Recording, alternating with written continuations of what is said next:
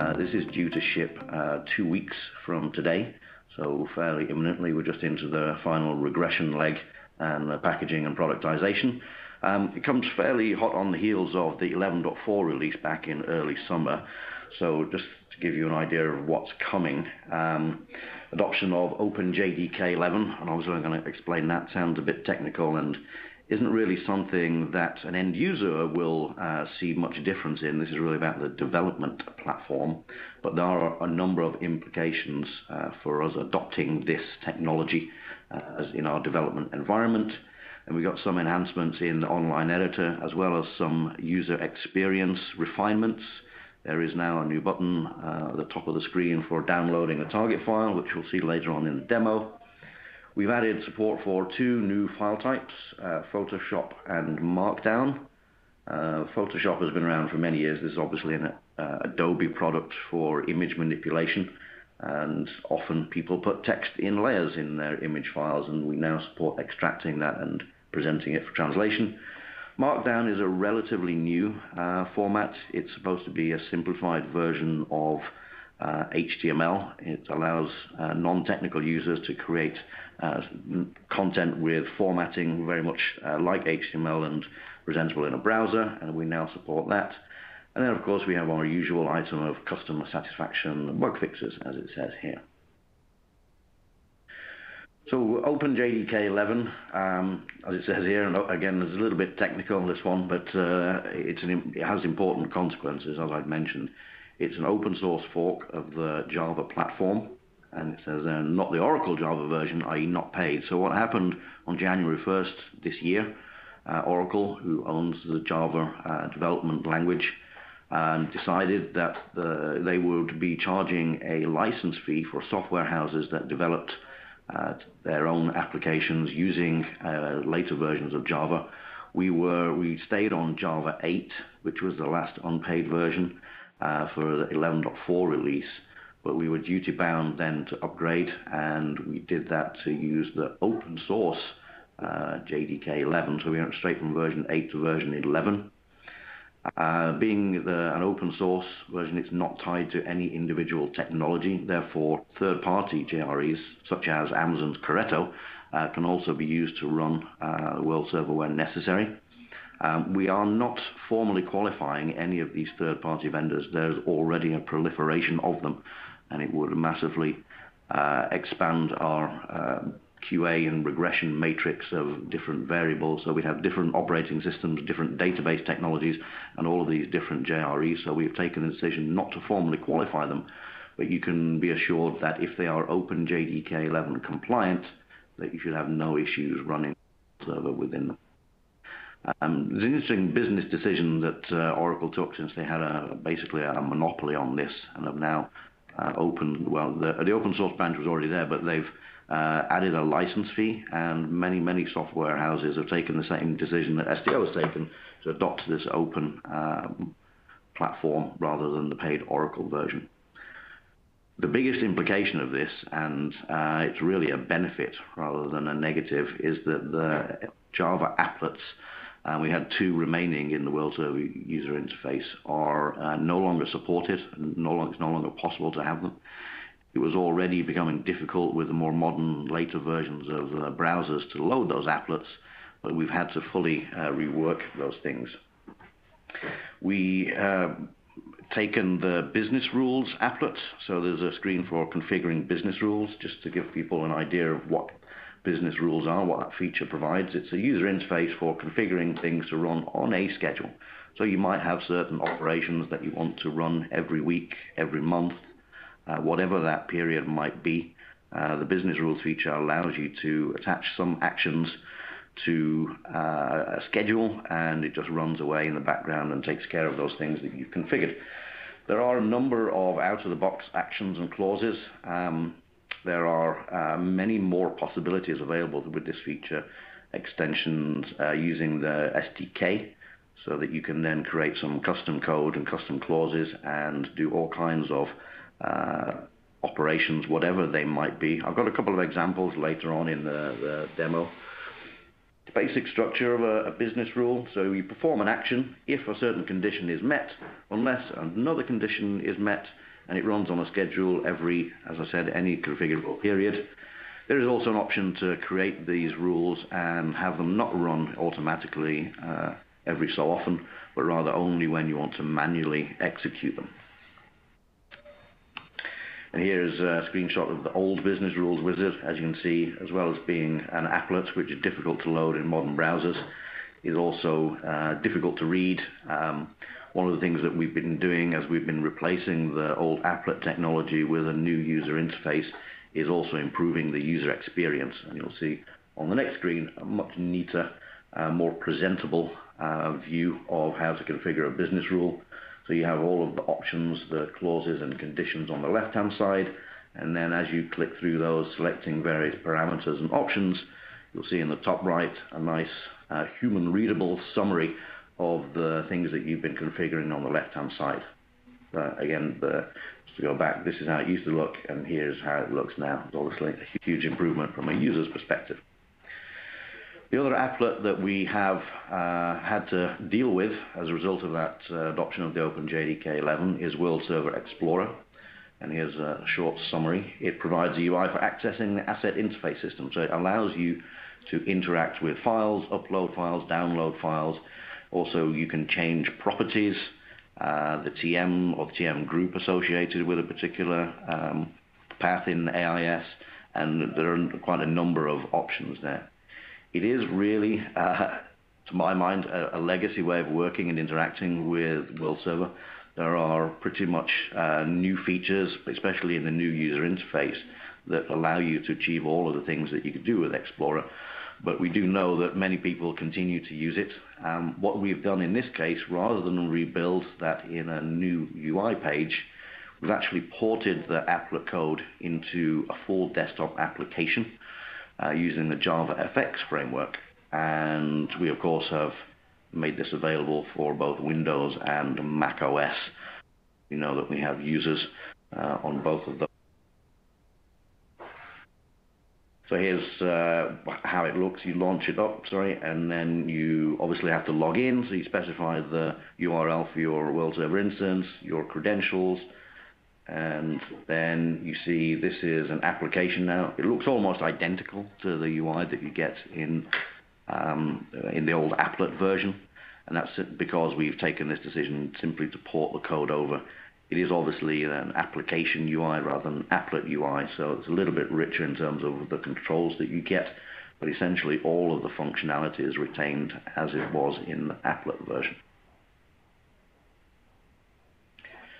As I mentioned at the beginning, we have uh, added support for two new file types, as well as the, these two new additions. We've obviously updated all of the existing file types, as uh, you should be aware by now. With every release of World Server, when we're updating the FTS components, we take the latest versions of all of the file type support that we have. Uh, this align, allows us to align with, in particular, Trados Studio, so the latest version there has the same version of these file types uh, that you'll see in World Server 11.5. But specifically, the new ones that we've added to support Photoshop. Um, there are three different extensions you can see there and uh, an array of different versions of Photoshop that we support. Uh, I guess the key uh, point to make here is that there is no currently no user interface in World Server for uh, configuring file type options. In this case, it's not such uh, a big deal. There is only one option, as it mentions here, whether to include hidden content or not. But the way to make the settings changes that you might need is to configure that in Trados Studio and export those as a settings bundle and then import them through the World Server UI. So this situation is, uh, I guess, driven by the other piece of legacy UI technology, the Silverlight pages that we currently have for file type configurations that we will in a future release be removing from uh, the application the same way that we did with uh, the applet pages. But for now, uh, I thought it better to implement support for these file types, even though there is no native UI in World Server, but there is obviously a mechanism to get your settings changes in, Trados Studio. Same is true for Markdown. So a couple of extensions there. It also further supports embedded content processing, as you can see in a little screenshot. Uh, that's taken obviously from Trados Studio.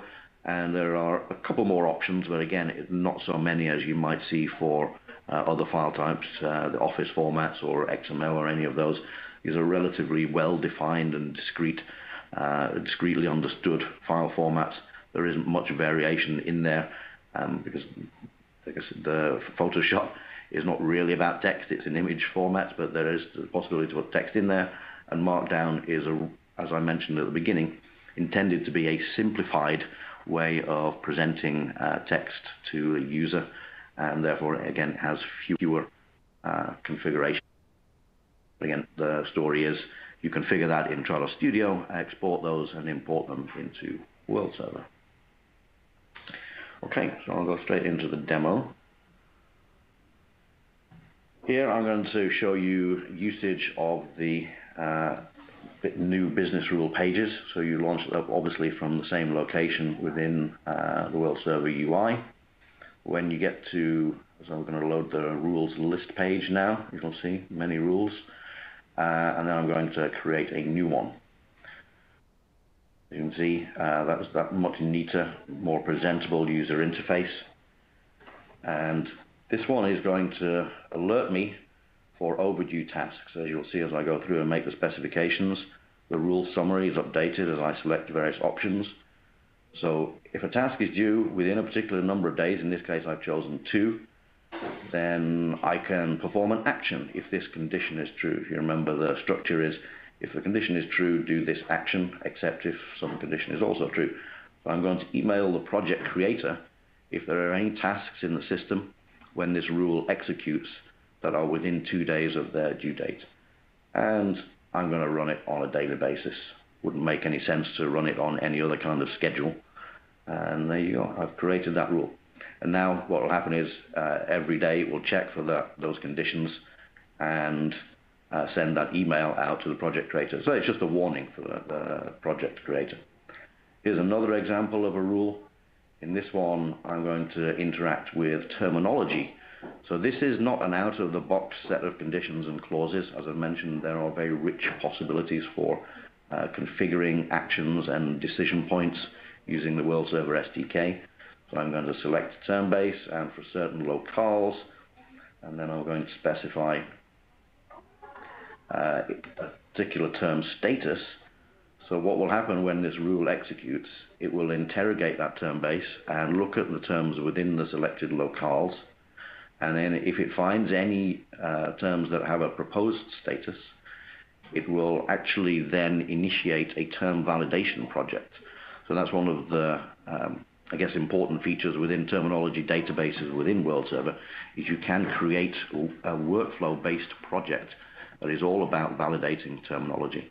This one I've set to run manually only because the idea of adding new proposed terms to your terminology database is not something that you would do necessarily on a daily basis. Okay, the new file types. This is an example of Markdown, and this is the equivalent in HTML. As you can see, it's intended to be a simplified version of that. So it uses kind of indents and uh, ASCII underlines to represent um, the formatting that you can put into HTML if you understand that thing. Here you can see Markdown file type and the import option, as I mentioned, this is the one that you must use if you are have any uh, settings that are not the defaults. You know, I'm showing an example also of the Markdown file type being used to process the files. So I've created a project here with the various different extensions. I'm going to open it in the online editor. And here you can see it's obviously a, a test file where you, we're testing all of the different features. I'm going to confirm that segment and you can see it auto-propagating very nicely. It's one of the differentiators from the old browser workbench, of course. And, then uh, you can see, obviously, there is some WYSIWYG representation. Even though it's a markdown file, you, we are representing links as links there I am using that new button, as I mentioned earlier. We are now able to download the target file and you can see the modifications that I've made in there. To jump to the last of the videos now, and this is about World Server Explorer. Here I'm going to the Explorer page, and here now you have a link, uh, both the Windows and the Mac OS versions. It's a relatively large download, as you can see, it's 171 megabytes. but it's only a one-off. So you download and install this. As I mentioned, it runs as a fully fledged application and is no longer an applet in the browser. And so once you uh, have installed this, you'll see an entry in the control panel. You'll have an entry in your start menu, for example, on Windows. And then when you launch that, you then put in your URL, your user credentials, and you can see here, it's opened on the other screen, but I'll drag it over. You'll see Explorer um, pretty much as you would see it in the browser with the applet version. You can resize things, you get some nice controls. All of the menu options that you had are all available here also in the application version. And you can interact with various the mount points. You can create folders, and you'll see me do that in a moment. And then uh, pretty much everything that you could do in the old applet version, you can do also in this. But you uh, obviously don't need to open the browser page and struggle to uh, launch it. It's running now as a fully fledged application. And here you can see we're loading the kind of legacy UI uh, from that application, but you get all of the same uh, options available to you. Here I am setting some file type options for this particular AIS property. And again, you can see here I've set it and we've retained. Okay, so that was uh, the short demo of the, I guess, the three key takeaways that were and deliverables that we're including in 11.5. Um, I have a little bit more to talk about as well related to World Server 11.6. So uh, as I mentioned earlier, the 11.5 came fairly hot on the heels of the 11.4, and we do like to have this more rapid release cycle now using our agile development methodologies. This means also that 11.6 has a relatively bounded scope, uh, essentially three uh, areas that we're improving and extending. There will be uh, a new counter so that every time a segment is leveraged from a TM during the pre-processing phase, segmentation and TM lookup. We will increment a counter. This allows you to measure uh, over time the value of the segments within your translation memory. Um, obviously, one of the key ROI points for a TM is the reuse. And if a segment has been created five years ago and has never been used, that means it's never been the best match during that pre-processing phase you might want to consider archiving those segments away, for example. So you reduce the size of your TMs so that they're much faster uh, to do much faster performance to do the lookups against. Um, there is a flip side to that as well. Because we can count that, we can also count per TM uh, how many segments were matched, and we're going to include that in the task history. There's a couple of screenshots to illustrate this.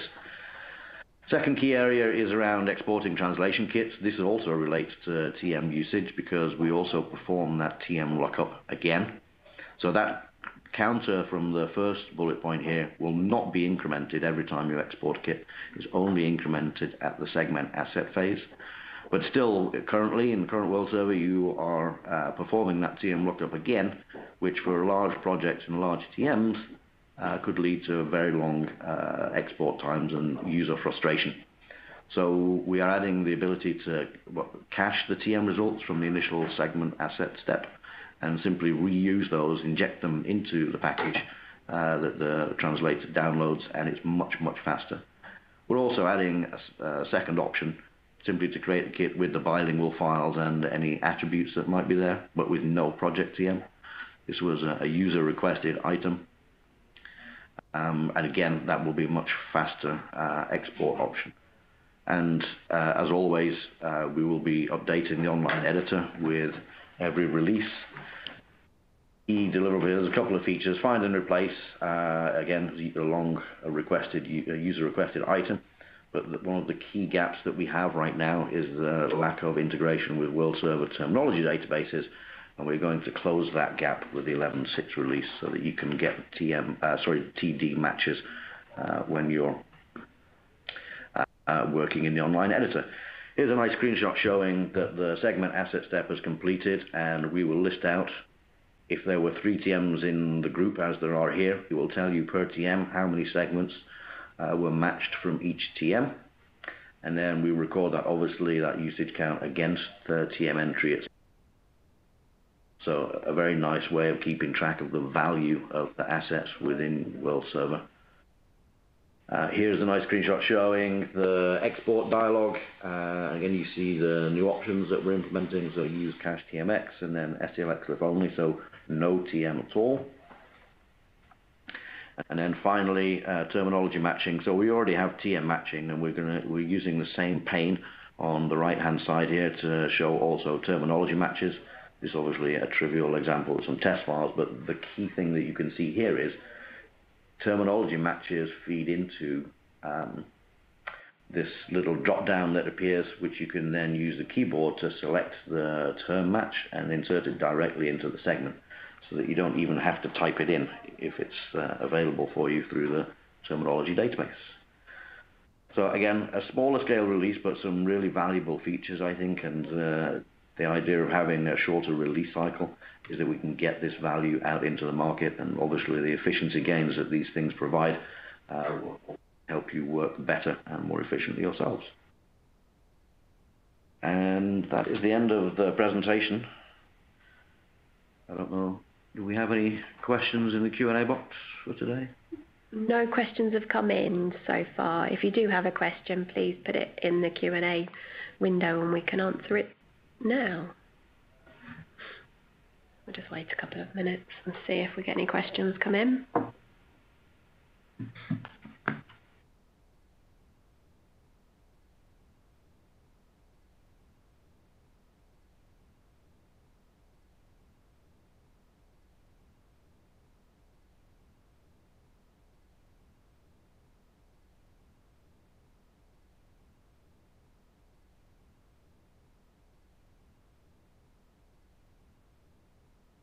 No, it doesn't look like we've got any questions come in. It's been all very clear.